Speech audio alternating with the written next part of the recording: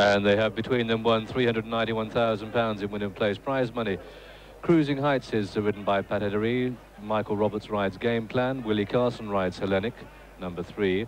Number four is Kartajana, Walter Swinburn. Five, Ruby Tiger, the Grey, Richard Quinn. And number six from France, Wajd, ridden by Cash Asmussen.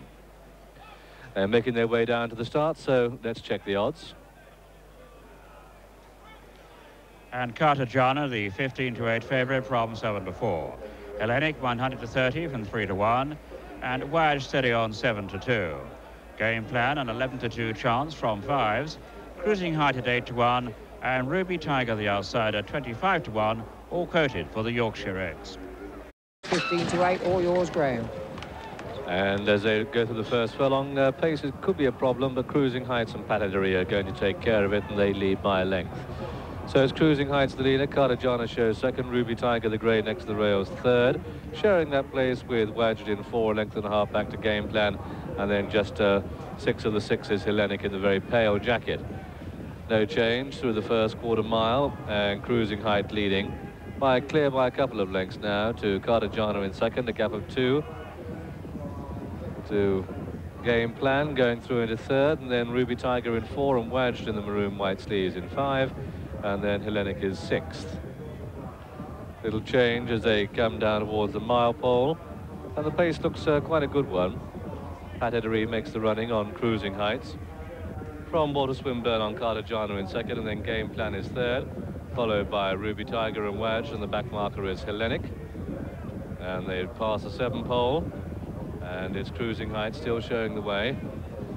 Cruising Heights, daughter of Shirley Heights, here by a couple of lengths to Kartajana in second and then game plan showing third followed at the halfway stage by Ruby Tiger next to the rails in four and then Wajd on the outside five and Hellenic is six. They turn into the home straight with five furlongs to go and it's Cruising Heights leading from Kartajana in second and then game plan showing third as they head for home and they're in the home straight still Cruising Heights from the front Cruising Heights from Kartajana and Game Plan and then Wajd and then Ruby Tiger and Hellenic with quite a bit to do. And then coming down towards the three? And Kartajana starts to uh, make ground on the outside of Cruising Heights. And Pat now goes to work as Kartajana uh, applies the pressure. And these come to three clear of Wajd looking one pace at this stage. Ruby Tiger runs a big race and a brave race too. But Carter Has the now by a length and a half.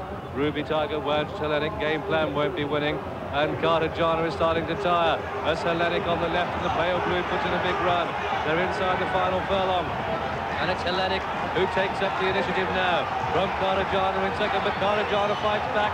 Hellenic has the answers, though, goes on by half by a length, and Hellenic wins it. Kartajana and Wajd in a photo second third. A big gap to Ruby Tiger and Cruising Heights having their own battle for fourth place, and last of all was game plan. The result then of this Aston Upthorpe Yorkshire Oaks. It's a win for number three, Hellenic, in the colours of Lord Weinstock, trained at Newmarket by Michael Stoute, ridden by Willie Carson, and that uh, means that Willie Carson has ridden more Yorkshire Oak winners than anyone else. Lester Piggott had ridden four winners, and prior to today, Willie Carson had ridden four. This makes it five. But there was a little bit of an incident uh, in the closing stages. Kartajana uh, just had to be checked uh, by Walter Swinburn with about 50 yards to go.